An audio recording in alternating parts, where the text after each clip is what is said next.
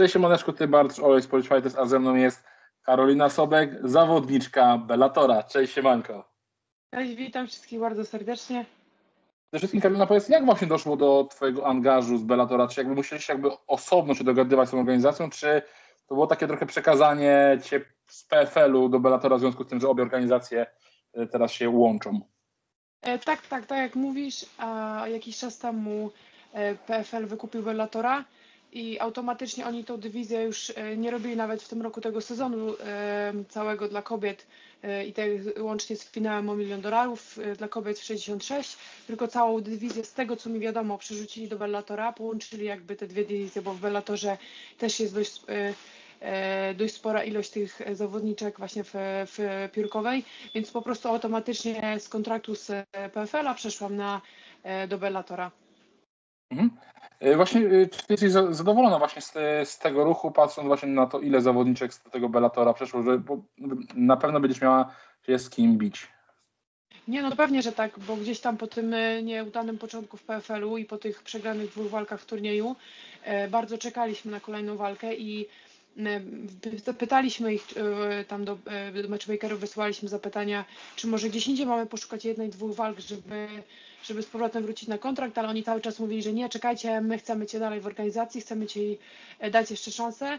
Mm, i kazali czekać po prostu do końca roku do e, finału.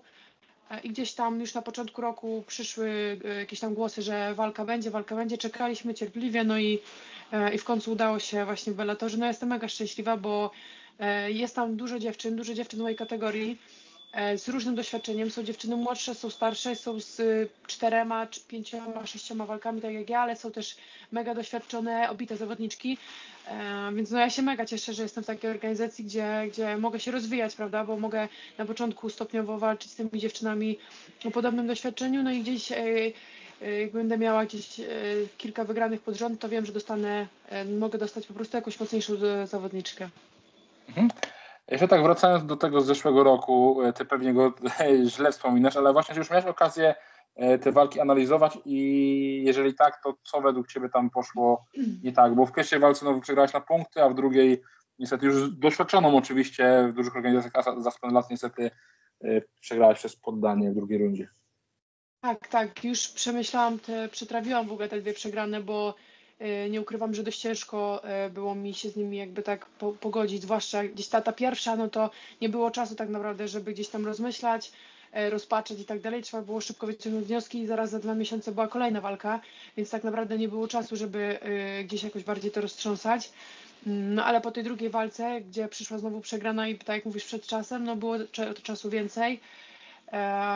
No już przetrawiłam, no co było takim głównym powodem? Nie było takiego głównego powodu tak naprawdę. Przy pierwszej walce zabiła nas po prostu, zabiła nas ilość tych wszystkich formalności, badań, ile było problemów, to wiemy tylko ja i mój trener i menadżer, którzy, yy, którzy musieliśmy to ogarniać. Nie miałam nikogo doświadczonego, kto by już walczył w Stanach. Ja nigdy nie, no to była moja pierwsza walka za, poza Europą.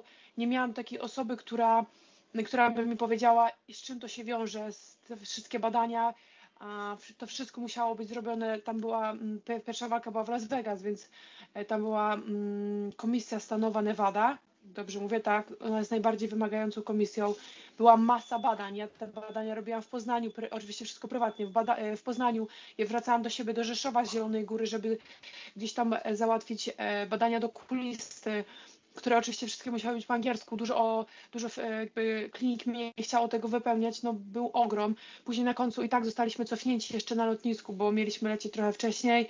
Nie wiedzieliśmy nawet, czy ta walka dojdzie do skutku, była zmieniona przeciwniczka. Myślę, że w tej pierwszej walce, to, że ja wyszłam w ogóle do tej walki, to, to już był jakiś tam sukces. Zabiło mnie po prostu, te formalności mnie zabiły. E, a tak... Mm, tak patrząc czysto sportowo już y, o samą formę na walkę, to też czułam się dobrze, waga była dobrze zrobiona.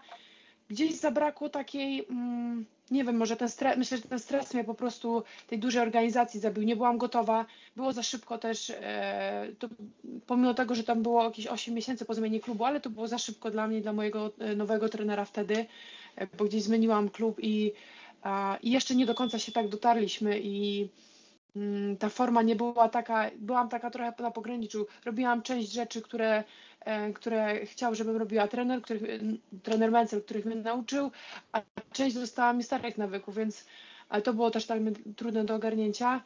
Mm, no i ta, nie było nawet czasu, żeby tego wszystkiego wyszkolić, gdzieś tam e, zrobić ze mnie, żeby on mógł zrobić ze mnie swoją zawodniczkę. Mm, I, i, I, to wszystko się tak przełożyło na tą walkę później. I ta druga walka też tak. Wyszłam, mm, wyszłam taka jakaś, no nie swoja, nie, nie wspominam tego najlepiej, e, ale najważniejsze jest to dla mnie, że już przetrawiłam to. Bardzo mocno przepracowałam ten, e, ten rok, tamtą końcówkę i, i początek tego roku. Trenowałam tak, jakbym miała przygotowania cały czas, bo codziennie byłam rano wieczorem na macie, więc myślę, że e, myślę, że już odskoczyłam. My, myślę, że bym siebie teraz pokonała sprzed roku zdecydowanie. Jakbym miała walczyć ze swoją wersją, która startowała rok temu na PFL-u, to myślę, że bym siebie pokonała i to gdzieś tam byłby srogi knockout albo poddanie w pierwszej rundzie. I to jest dla mnie taką najlepszą, e, najlepszym wyznacznikiem, że, że idę do przodu, że się rozwijam. Mm, I wiem, że jakbym teraz wchodziła w ten turniej, to, yy, to myślę, że bym zaszła dużo dalej niż wtedy. No, wtedy po prostu nie byłam na to gotowa. Byłam za młoda, i za mało doświadczona moim zdaniem. Pomimo, że minął tylko rok, to, to gdzieś te przegrane dały mi naprawdę e, naprawdę dużo więcej niż, niż pewnie jakbym wygrała. A tak e, wyciągnęłam z tych, myślę, że wyciągnęłam z tych przegranych wszystko, co się dało. Wszystko, jakby wszystko co dobre, co się dało. Mhm.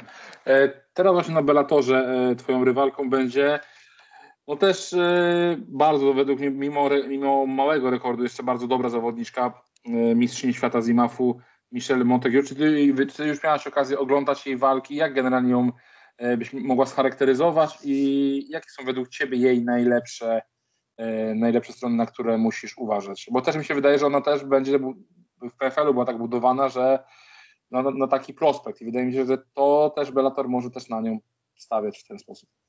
Tak, tak. Yy, my się nawet spotkałyśmy na PFL-u, bo ona w tym turnieju była taką zawodniczką jakby zastępową w razie W, gdyby któraś z dziewczyn wypadła. Więc my się już wtedy tam widziałyśmy. Później wiem, że miała taką walkę jeszcze rankingową e, po prostu gdzieś tam w, e, też chyba w drugiej połowie roku też w PFL-u.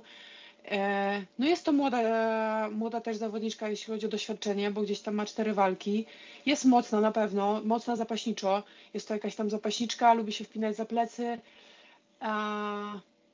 I co? No nie lubi stójkowych wymian. Myślę, że to jeżeli bym tak, e, jak walczy na nogach, to nie lubi się wdawać zbytnio w wymiany, próbuje gdzieś tam e, obalać i, i szuka tych pleców, poddań, więc myślę, że jest to po prostu mocna graplerka.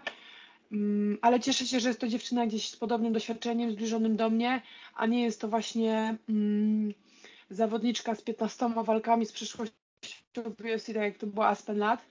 Y, I, i, I, gdzieś tam jest to po prostu dziewczyna w moim zasięgu jak najbardziej. Mhm. E, powiedz mi, czy ty mm, na przyszłość planujesz już zostać w tej kategorii do 66 kg? Bo to powiem ci szczerze, że teraz e, nie chcę powiedzieć, że ci się udało, no ale teraz jesteś w, w organizacji, gdzie, która może ci dostarczać tych zawodniczek, bo na przykład w mhm. Europie jest to duży problem, nawet y, teraz jedna zawodniczka z KSW musiała odejść, bo tam nawet 6-1 nie, nie, ch nie chcą zrobić, czy ty jakby to od, poza PFL-em i Bellatorem gdzieś tam to odczuwałaś, że był problem dla ciebie z zawodniczkami, bo ta kategoria nie jest gdzieś tam poza USA mega popularna.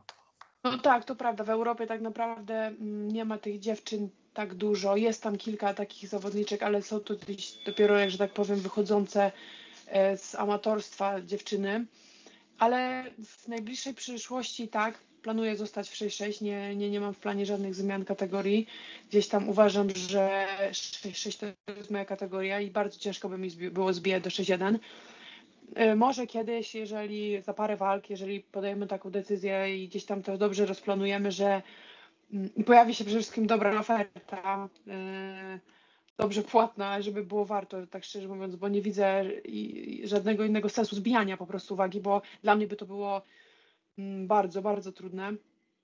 Mm, więc może kiedyś gdzieś w przyszłości tak, ale w najbliższym, tak teraz na najbliższe walki myślę, że na pewno zostanę w 6-6 Zwłaszcza, mm, że wiem, że gdzieś tam mam tą przyszłość w Bellatorze, jest z kim się tam bić, jest z, kimś, jest z kim walczyć i naprawdę mogę tam zrobić kilka dobrych walk w tym 6-6, więc, więc szczerze mówiąc w najbliższym czasie nie planuję, nie planuję zmiany kategorii.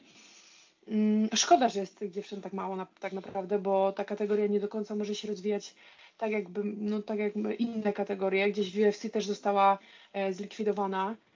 E, no ale mam nadzieję, że z czasem gdzieś tych dziewczyn będzie więcej. Widzę po amatorstwie, że jest troszeczkę więcej tych większych dziewczyn, takich właśnie z kategorii 66 czy z kategorii 70 i liczę na to, że za parę lat mm, te dziewczyny zaczną walczyć zawodowo i, i w Europie będzie nas po prostu więcej i będzie, będzie z kim rywalizować na takim wysokim poziomie, bo gdzieś tam e, na siłę te dziewczyny niektóre zdarzają się, próbują, w, e, tak jak w tym, w tym turnieju widziałam, było kilka dziewczyn, które tak naprawdę to nie były zawodniczki takie czyste 6-6 jak, jak ja, czy, czy właśnie jak ta Michelle, która też jest dość wysoką, taką dobrze zbudowaną dziewczyną, e, tylko były to dziewczyny 6-1, które po prostu e, skusiła, tak myślę, skusiła oferta i, i chciały spróbować sił w, w PFL-u i dostały taką pewnie propozycję, ale to nie były takie naturalne dziewczyny z tej kategorii.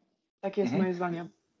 E, ty już, na swoim, ty już w swojej karierze walczyłaś dla bardzo dobrych organizacji, Ares, PFL, teraz Bellator, czyli no top. Powiedz mi, czy to, że walczysz dla takich organizacji, to się przekłada na finanse? Czy ty, czy ty, jesteś e, zadowolona z obecnego twojego, twoich za, e, zarobków i możesz sobie powiedzieć, że e, możesz sobie pozwolić na to, że żyć tylko z, e, z MMA?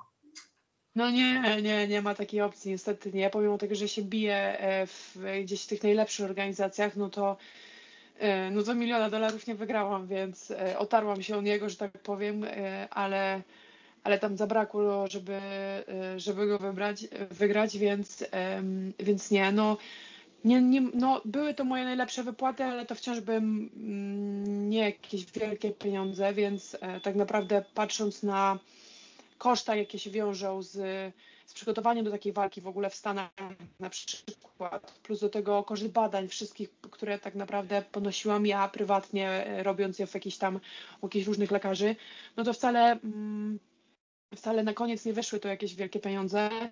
No e, teraz jeszcze dalej pracuję, dorabiając sobie, bo no nie jestem się w stanie utrzymać z MMA.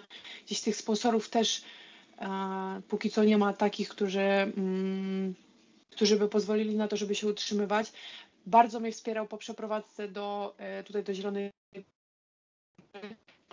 gdzieś mi pomógł faktycznie, e, żebym mogła więcej czasu poświęcić na treningi, ale wciąż weekendowo muszę sobie dorabiać, żeby, no żeby się utrzymać, prawda? Mam nadzieję, że gdzieś przyjdą fajne wygrane właśnie z tym Bellatorze, fajne walki, to i, i, i wypłata na kontrakcie się zwiększy i też sponsorzy przyjdą, no ale póki co póki co niestety pewnie obstawiam jak większość zawodników w Polsce e, nie żyję czysto, czysto za MMA, tylko muszę po prostu zarabiać tak naprawdę. No i wkładam cały czas e, pieniądze w to MMA. Mhm. Już e, powoli zmierzając do końca, powiedz mi, czy ty masz jakąś zawodniczkę, z którą ty byś chciała tak wybitnie zmierzyć? Nieważne, czy ona jest na PFL-u, w Bellatorze, czy może mhm. gdzieś, gdzieś, gdzieś z UFC, ale czy masz takie nazwisko, które załóżmy Bellator je ściąga, to od razu się zgłaszasz, że chcesz się z nią bić, nieważne na okoliczności. Znaczy, e, na dzień e, dzisiaj nie myślę za bardzo, e, za bardzo z, o, po przyszłych walkach. Skupiam się na razie na tej najbliższej walce i gdzieś myślę tylko o Michelle. Ale jeżeli wszystko dobrze pójdzie, fajnie by było kiedyś wziąć rewanż od Aspen i zmierzyć się z nią jeszcze raz, bo bo czuję, że e, gdyby wszystko poszło tak jak trzeba i, i moja głowa i ciało zapracowało tak jak chciałam, to, to wygrałabym tą walkę, a przynajmniej na pewno pokazałabym się lepiej, więc, e, więc fajnie gdzieś kiedyś w przyszłości będzie się zmierzyć ponownie z Aspen lat, ale na razie myślę tylko i wyłącznie o tej walce, która jest 22 czerwca i, i, i myślę tylko i wyłącznie o Michelle. Mhm. Okej, okay, z mojej strony to wszystko. Jeśli chcesz komuś podziękować, kogoś pozdrowić, to jest Twoja chwila, Twój moment, Twój czas. E, no ja bardzo bym chciała podziękować przede wszystkim ludziom, którzy mnie na co dzień wspierają, moim trenerom, trenerowi Menclowi, trenerowi e, od przygotowania e, siłowego, Marcinowi Plesowi, no i całemu mojemu klubowi i, i wszystkim firmom, które mi gdzieś tam starają się mi pomóc, dzięki którym mogę się rozwijać, tak? No i sobie przede wszystkim, bo, bo też wkładam to kawał serca i kawał zdrowia, więc mam nadzieję, że że teraz już po tych perturbacjach w tamtym roku czekają mnie, dobre czasy, wierzę w to bardzo i, i co, no i czekam na najbliższą walkę, żeby się pokazać wszystkim, nad czym ciężko pracowałam przez ostatni rok i wierzę, że wierzę, że pokażę i wszyscy będą pod wrażeniem. Dzięki wielkie.